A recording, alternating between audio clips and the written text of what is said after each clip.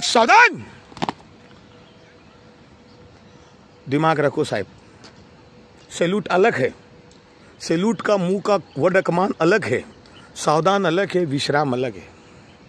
तीनों बातें अलग अलग है। आप उम्र दराज हो आप छोटे बच्चे नहीं हो जो आपको बार बार समझाना पड़े। प्रेट सैल्यूट जब भी कोई अधिकारी जब भी कोई भी अधिकारी आपके सीधा कर हाथ को। टाइट मत कर।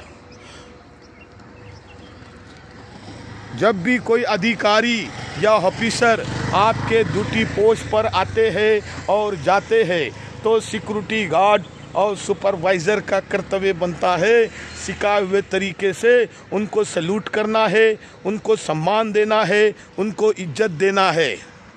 जितने भी डायमंड के अधिकारी, ऑफिसर ऑनर मालिक सेठ लोग, जब भी आपके ड्यूटी पोस्ट पर आते हैं और जाते हैं तो सिक्योरिटी डिपार्टमेंट का कर्तव्य बनता है सिखाए हुए तरीके से उनको सल्यूट करना है, उनको सम्मान देना है, उनको इज़्ज़त देना है।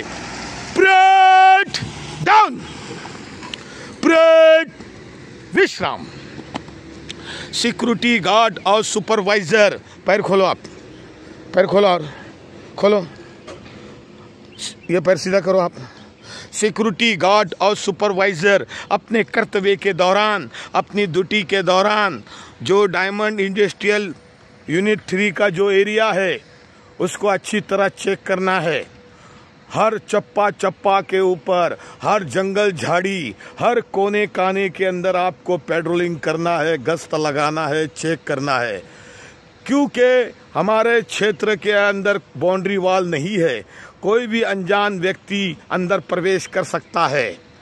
जैसे शराबी हो, पागल हो भिकारी हो, और चोर हो। ऐसे व्यक्तियों को डायमंड इंडस्ट्रियल यूनिट थ्री पलसाने के अंदर आना सख्त से सख्त मना है। इसीलिए सिक्योरिटी गार्ड और सुपरवाइज़र अपने कर्तव्य के दौरान, अपनी ड्यूटी के दौरान प्रत्येक घंटे के अंदर समय समय के अनुसार आपको पूरा एरिया का पेट्रोलिंग करना है, गश्त लगाना है, चेक करना है, राउंड मारना है। आपको पता होना चाहिए, डायमंड इंडस्ट्रियल यूनिट थ्री पलसाने के अंदर सख्त से सख्त मना है गाय, बकरी, भैंस चराना। या कोई भी अनजान व्यक्ति इस एरिया के अंदर घूमता हुआ नज़र नहीं आना चाहिए। यहाँ पर फोटोग्राफी और वीडियो शूटिंग लेना सख्त से सख्त मना है।